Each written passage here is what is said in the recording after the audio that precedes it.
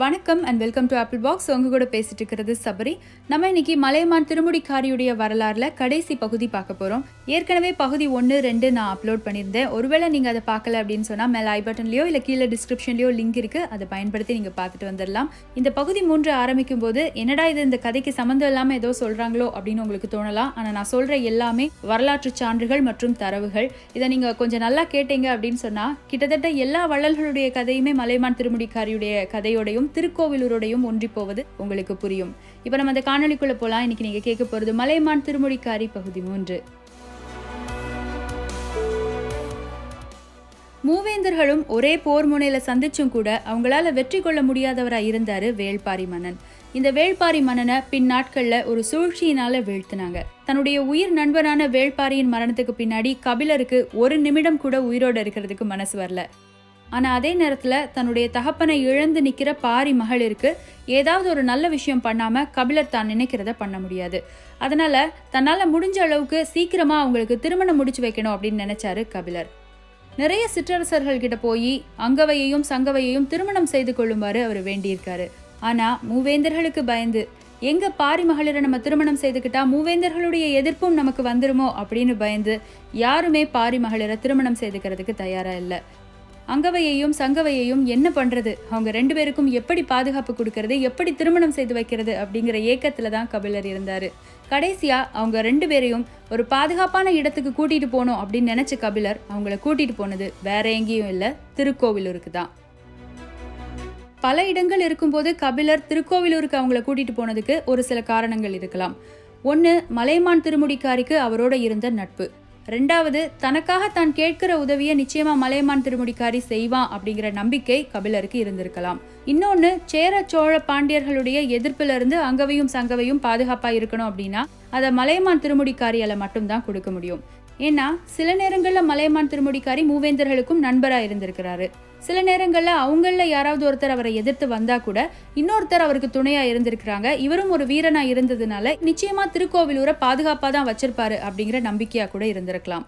அங்கே கூட்டிகிட்டு போனதுக்கு பின்னாடி அந்தணர்கள் வீட்டில் அவங்கள பாதுகாப்பாக தங்க வச்சாரு அப்படின்னு சிலர் சொல்கிறாங்க குடியானவர்களுடைய வீட்டில் அவர் பாதுகாப்பாக தங்க வச்சாருன்னு சில பேர் சொல்கிறாங்க இல்லை மலையமான் திருமுடிக்காரிக்கிட்டேயே அவர் தங்க வச்சாரு. ஆனால் மலையமான் திருமுடிக்காரி போரில் மரணம் அடைஞ்சதுனால அவங்க திரும்ப குடியானவர்கள் வீட்டுக்கு வந்தாங்க அப்படின்னு சிலர் சொல்கிறாங்க இது மூணுமே அனுமானங்கள் தானே ஒழிய உறுதியான சான்றுகள் இது மூணுக்கும் கிடையாது. ஆனா தான் உயிரை விடுறதுக்கு முன்னாடி அங்கவையையும் சங்கவையையும் திருக்கோவிலூர்ல தான் கபிலர் பாதுகாப்பா வச்சாரு. அவங்க ரெண்டு பேரையும் ஒரு பாதுகாப்பான இடத்துல ஒப்படைச்சிட்டு தன்னுடைய கால் போன போக்கில் நடக்க ஆரம்பிச்சாரு. வேள்பாரிய முதல் முதல்ல பார்த்தது தன்னுடைய உயிர் நண்பனான பாரியோடு செலவிட்ட நாட்கள். இப்படி ஒவ்வொன்றையும் சிந்திச்சு சிந்திச்சு கண்ணீர் பெருகி கபிலர் ஒரு குன்றின் மேல போய் நின்னாரு. அந்த குன்றில் அவர் தன்னுடைய உயிரையும் விட்டாரு. கபிலர் உயிர் விட்ட குன்று இன்னைக்கு வரைக்கும் திருக்கோவிலூர்ல இருக்கு. அந்த குன்றுக்கு கபிலர் குன்றுன்னு ஒரு பெயரும் இருக்கு. இது எல்லாம் நடந்ததுக்கு பின்னாடி ஔவையார் வந்து தங்களை பொறுப்பில் எடுக்கிற வரைக்கும் அங்கவையும் சங்கவையும் திருக்கோவிலூர்ல தான் இருந்திருக்கிறாங்க. ஔவையார் அவங்கள பொறுப்பில் எடுத்ததுக்கு பின்னாடியும் அவங்களுக்கு திருமணம் செய்து வைக்க எவ்வளவோ முயற்சி பண்ணியிருக்காங்க. நிறைய மன்னர்கள் கிட்ட வேண்டி பாடல்கள் பாடியிருக்காங்க. ஆனால் யாரும் மூவேந்தர்களுக்கு பயந்து அவங்கள திருமணம் செய்துக்கவும் இல்லை. எத்தனையோ தேடல்களுக்கு பின்னாடி கடைசியா ஔவையார் அங்கவையையும் சங்கவையையும் மலைமான்களுடைய வம்சத்துல தான் திருமணம் செய்து கொடுத்தாங்க அப்படிங்கிறதுக்கு வரலாற்று சான்றுகள் இருக்கு. இதற்கு இன்னொரு சான்று அப்படிங்கிறது ராஜராஜ சோழனின் தாயாரான வானவன் மாதேவியை பற்றி கிடைத்த கல்வெட்டு. அந்த கல்வெட்டின்படி வானவன் மாதேவி பாரி மற்றும் காரியின் வம்சத்தை சார்ந்தவர் அப்படின்னு சொல்லிட்டு தரவுகள் இருக்கு. அதாவது அதே பிளட் லைன்ல வர்றாங்க அப்படின்னு அர்த்தம். இதில் ஒரு சின்ன பிரச்சனை என்ன அப்படின்னா மலைமான் திருமுடிக்காரியை பற்றி நிறைய தரவுகள் இருக்குது ஒன்று ஒன்றும் முன்னாடி எது வருது பின்னாடி எது வருது அப்படின்னு தெரிஞ்சுக்க முடியாத அளவு இருக்குது அது மட்டும் இல்லை சங்க காலத்தில் கிடைத்த நிறைய மன்னர்களை பற்றின தரவுகள் அப்படிப்பட்டது தான். அதை வந்து ஒரு சீக்வன்ஸாக நம்ம எடுக்க முடியாது. இந்த சம்பவத்துக்கு பின்னாடி தான் இந்த சம்பவம் நடந்தது அப்படிங்கிறத நம்மளால் அறுதியிட்டு சொல்ல முடியாது. அனுமானங்களின் பேரில் தான் இதுக்கு பின்னாடி இது நடந்திருக்கணும் அப்படின்னு சொல்லி ஒரு டெரைவேஷன் மாதிரி ஒரு வரைவு மாதிரி எடுத்து வச்சிருக்கிறாங்க. என்னால் முடிஞ்ச அளவுக்கு நான் படித்த புத்தகங்களை அடிப்படையாக வச்சு உங்களுக்கு இதை நான் கதையாக சொல்லிட்டு வரேன். இப்போ அந்த அடிப்படையில் கடைசியாக மலையமான் திருமுடிக்காரியுடைய முடிவு எப்படி இருந்தது அப்படிங்கிறத நம்ம பார்க்க போகிறோம் ஒரு வீரன் அப்படின்னு இருந்தால் அவனுக்கு எதிரி இருக்கத்தான் செய்வான். ஒரு வல்லவன் அப்படின்னு இருந்தால் அவனுக்கும் வல்லவன் ஒருத்தன் இருக்க தான் செய்வான். அந்த வகையில் போர் வீரனான மலையமான் திருமுடிக்காரிக்கு எதிரியாக இருந்தது யாரு? பார்க்கலாமா? அடுத்தடுத்த படையெடுப்புகளின் மூலமா மலையமான் திருமுடிக்காரி தன்னுடைய நாட்டின் எல்லையை விரிவுபடுத்திட்டே வந்தாரு. இதை பார்த்து சோழ மன்னனான கிள்ளி வளவனுக்கு மலையமான் திருமுடிக்காரி மேல ஒரு எரிச்சல் வந்தது. சேரமன்னன் பெருஞ்சேரல் இரும்புரைக்கும் அதியமானுக்கும் இடையில என்ன பிரச்சனை இருந்ததோ அதே பிரச்சனை தான் சோழ மன்னன் கிள்ளிவளவனுக்கும் மலையமான் திருமுடிக்காரிக்கும் நடுவுலையும். நாட்கள் செல்ல செல்ல இந்த பிரச்சனை பெரிய அளவிலாகி சோழ மன்னன் கிள்ளிவளவன் திருக்கோவிலூரை நோக்கி படையெடுத்து வந்தான். மலைமான் திருமுடிக்காரியுடைய படைகள்னால சோழ மன்னனுடைய படைகள் முன்னாடி முன்னேறி செல்ல முடியல. கடைசியா மலைமானுடைய படைகள் பின்னடைவை சந்திச்சது. மலைமான் திருமுடிக்காரி அந்த போர்ல சோழ மன்னன் கிள்ளி வளவனால் வீரமரணம் அடைந்தான். தன்னுடைய வாழ்நாளில் பெரும்பாலான நாட்களை போரிலேயே செலவிட்ட மலையமான் திருமுடிக்காரி கடைசியா போர்க்களத்திலேயே தன்னுடைய உயிரையும் விட்டான். மலையமான் திருமுடிக்காரியுடைய மரணத்துக்கு பின்னாடி சோழ மன்னனுடைய கண்களில் மலையமானுடைய மகன்கள் பட்டாங்க. வயது குறைவா இருந்த அந்த சிறுவர்கள் ரெண்டு பேரையும் தன்னோட சேர்த்து பிணை கைதிகளா பிடிச்சிட்டு போனாரு கிள்ளிவளவன். தன்னுடைய அரண்மனைக்கு போன பின்னாடி கிள்ளிவளவன் யோசிச்சு பார்த்தாரு.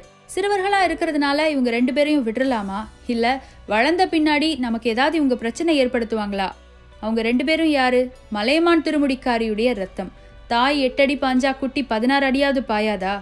பின்னால தன்னுடைய தகப்பனின் மரணத்திற்காக தன்னை பழிவாங்க இவங்க என்ன வேணாலும் செய்வாங்க அப்படின்னு நினைச்ச கிள்ளிவளவன் அவங்க ரெண்டு பேருக்கும் ஒரு தண்டனை கொடுக்கணும் அப்படின்னு முடிவு பண்ணான். இப்போ நம்ம கொடுக்குற இந்த தண்டனையை பற்றி பக்கத்து நாட்டில் இருக்கிற அத்தனை அரசர்களுக்கும் தெரியணும். நம்மக்கிட்ட யாராவது வாலாட்டுனா அவங்களுக்கும் இதே நிலைமை தான் அப்படிங்கிற பயம் அவங்களுக்கு வரணும்னு நினச்ச கிள்ளிவளவன் ஒரு பெரிய தண்டனையை இந்த சிறுவர்களுக்காக ஏற்பாடு பண்ணுறான் அந்த தண்டனையின்படி ஊர் மக்கள் அத்தனை பேரும் கூடியிருக்க நட்ட நடுவில் ஒரு கொலை மேடை ஏற்பாடு செய்யப்படும். அந்த மேடையில் இந்த சிறுவர்கள் இரண்டு பேரும் கட்டி வைக்கப்படுவாங்க. ஒரு யானை வரவழைக்கப்பட்டு அந்த யானை இவர்களுடைய தலையை மிதித்து தலை நசுங்கி இவர்கள் மரணமடைவார்கள். இந்த தண்டனையை கேள்விப்படும் போது அந்த ஊர் மக்களுக்கே பயமா இருந்தது. எல்லாரும் அந்த தண்டனையை பற்றி தான் பேசிட்டு இருந்தாங்க. ஊர் மக்கள் இப்படி பேசி பேசி பக்கத்து ஊர்ல இருந்த ஒரு புலவருக்கு இந்த விஷயம் தெரிய வந்தது. அந்த புலவருடைய பெயர் கோவூர் கிழார். இந்த கோவூர் கிழார் ஏற்கனவே திருமுடிக்காரியை சந்தித்து அவனோட நட்பா இருந்த ஒரு புலவர். திருமுடிக்காரி எப்படிப்பட்டவன் அப்படிங்கிற சிந்தனையும் திருமுடிக்காரி கிட்ட இருந்து தான் வாங்கின அந்த கொடைகளை பத்தின சிந்தனையும் அந்த புலவருக்கு ஞாபகம் வந்தது. எப்படியாவது இந்த சிறுவர்களை காப்பாற்றணும் அப்படின்னு நினைச்சாரு அந்த புலவர். அது மட்டும் இல்லாம சோழ மன்னனான கிள்ளி வளவனுக்கும் அவர் நெருங்கிய நண்பன் தான். உறையூர்ல அந்த தண்டனை நிறைவேற்றப்படுறதுக்கு முன்னாடி எப்படியாவது அங்க போயிடணும்னு வேக வேகமா கிளம்பினாரு கோவூர் கிழார். அவர் போற வழியெல்லாம் அவருக்கு பதட்டம். அதே நேரத்துல அங்க உறையூர்ல என்ன நடந்துட்டு இருந்தது அப்படின்னு சொன்னா மக்கள் அத்தனை பேரும் சுற்றி உட்கார்ந்துருக்க நடுவில் ஒரு கொலை மேடை போடப்பட்டிருந்தது. அங்கே அந்த இரண்டு சிறுவர்களும் கட்டி வைக்கப்பட்டிருந்தாங்க. அவங்கள மிதிக்கிறதுக்காக அலங்காரம் செய்யப்பட்ட ஒரு யானை தூரத்திலிருந்து இருந்து அவ்வளோ நேரம் தனக்கு என்ன நடக்குது அப்படின்னே புரியாமல் இருந்த அந்த சிறுவர்கள் அந்த யானையை பார்த்ததும் சந்தோஷமாக சிரிக்க ஆரம்பிச்சிட்டாங்க. தான் என்ன நிலமையில இருக்கிறோம் அப்படிங்கிறது கூட புரியாமல் சிரிக்கிற அந்த சிறுவர்களை பார்த்து மக்கள் அத்தனை பேருக்குமே வருத்தமாக இருந்தது. அதே நேரத்தில் அந்த அரங்கத்துக்கு வந்து சேர்ந்தார் கோவூர் கிழார். சோழ மன்னன் கிள்ளி வளவனை பார்த்து அவனுக்கு அறிவுரை சொல்ற மாதிரி பாடல் பாடுறார். தனக்கு என்ன நடக்குதுன்னே தெரியாம தூரத்துல வர யானையை பார்த்து சிரிக்கிற இந்த சிறுவர்களையா நீ கொலை செய்ய போற? உன்னுடைய குலத்தை சார்ந்த அத்தனை மன்னர்களுக்கும் இழுக்கு வருமாறு இந்த மாதிரி ஒரு செயலை நீ செய்ய துணிஞ்சியே அப்படின்னு அவர் பாடல் பாட அந்த இடத்திலேயே தான் செய்ய இருந்த தவறு கிள்ளிவளவனுக்கு புரிந்தது. கொஞ்சம் கூட யோசிக்காம எவ்வளோ பெரிய தவறு செய்ய இருந்தோம் அப்படின்னு நினைக்கிற கிள்ளிவளவன் உடனடியா அந்த புலவர்கிட்டையும் மன்னிப்பு கேட்டுட்டு அந்த இரண்டு சிறுவர்களையும் தன்னுடைய பராமரிப்புல எடுத்தாரு. சோழ மன்னனான கிள்ளிவளவனுடைய பராமரிப்புல அந்த இரண்டு சிறுவர்களும் வளர்ந்து பின்னால உரியவனிடம் திருக்கோவிலூர் ஒப்படைக்கப்பட்டது.